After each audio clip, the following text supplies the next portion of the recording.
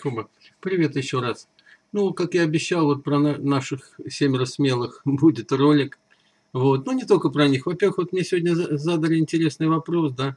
Добрый день, как вы относитесь к браку для определенных целей? Ну, в смысле, вот какие-то меркантильные цели, да, там жениться и, ну, не знаю, бывают браки, что женятся на деньгах, да, женятся на грин-карте или замуж выходит то же самое, да.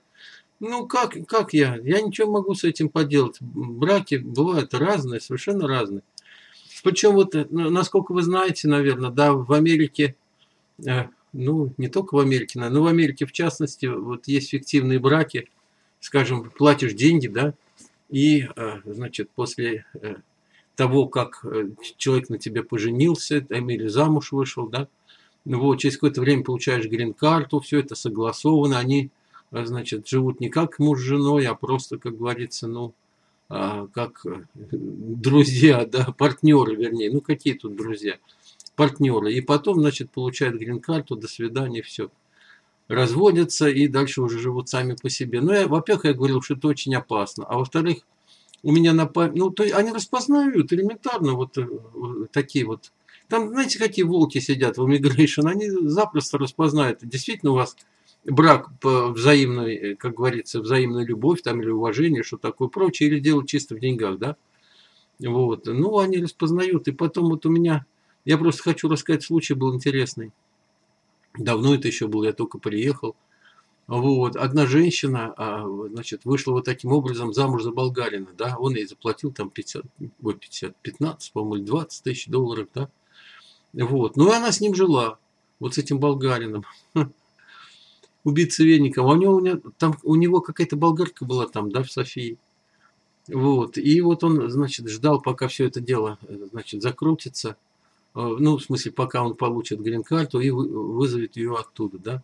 Вот жили они, жили, жили они как это самое, ну, как брат с сестрой, да. То есть вместе не спали там и все такое прочее. А ей было не очень это э, хорошо, потому что, ну, как живой мужик, да.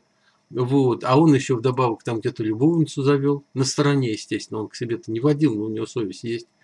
Вот, и, в общем, не очень хорошо получалось все это. Они прошли там огонь, воду и медные трубы, потому что, ну, все время его спрашивали, а как это вот вы замуж вышли, а вот, а, значит, ну, еще перед этим, перед замужеством, вот, когда они собирались, значит, в брак вступать, их расспрашивали, а в чем она спит, там, то все. Ну, в общем, как-то так вот, да.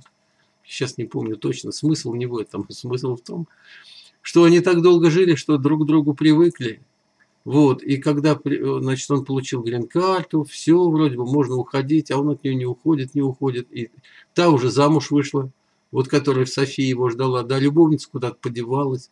И, в общем, они так, так и остались жить вместе. И так и живут. Начиналось с фиктивного брака, вот, а закончилось нормальным браком. Вот они так живут и живут. Я их, правда, давно не видел. Ну, а куда они денутся? Они уже в возрасте. Это же время требуется. Вот так. И еще, значит, кроме вот этого случая интересного, веселого, я хочу еще вот что сказать. Вот, ну, у меня сейчас пять человек, что-то много сразу, да? О, семь, я уже говорил, что семь, да, вот. И я немножко запутался, и вчера вот написал одной, значит, а, даме, вот, э, она мне, разговор был о чем? У нее там фотография есть очень хорошая, но маленькая. Вот, и, значит, она мне прислала вот несколько, я говорю, вот это хорошая, она говорит, это маленькая, ее на сайт не пропускает. Ну, я ей сделал эту фотографию побольше, вот, и отослал, или не думал, что отослал. Вот она, бедная, значит, искала, искала, где, где, же, где же она, эта карточка-то? И мне сегодня уже с утра присылают письмо, а карточки нет. Я, а, значит, ёлна. Послал, по новой, я ее стер уже, по новой пришлось все переделывать, значит, я ее отослал, да. Вторая сегодня, это первый случай, вторая вот женщина, у меня две женщины, вот, тоже сегодня пишет, вот у меня, я нашла хороший сайт, вот я, вот пароль, то все, пятое, десятое, а ссылку не прислал. Я говорю, ну хорошо, а куда я с этим паролем пойду? Я к чему это говорю? Я к этому со смехом отношусь, не знаю, как вы. Вот, мы не, вовсе даже не супер, ни я не супер, ни они все не супер, да, кое-как разбираемся. И правильно кто-то сказал, меня по IP там еще не пустят, вот на их э, аккаунты, да. Ну, то есть, допустим, человек в Москве завел себе аккаунт на брачном сайте, да, а я пытаюсь к нему зайти из Чикаго. Вот, и, в общем, начинается конфликт, они мне говорят, ты вообще кто такой, и нужно подтверждение. Ну, можно заходить, но нужно подтверждение. Как это сделать? Я не знаю, он не знает. Ну, сделали, слава богу. Вот, то есть мы, вот как Задорнов говорил, тупые они, тупые. Я когда-то этим занимался очень давно. Они тоже новички во всех этих делах. И вот, ребят, это я к чему все так, такую длинную историю рассказываю, да? Вот вы посмотрите, как у нас, у таких вот деревянных, да, вот, будет все это дело получаться, понимаете?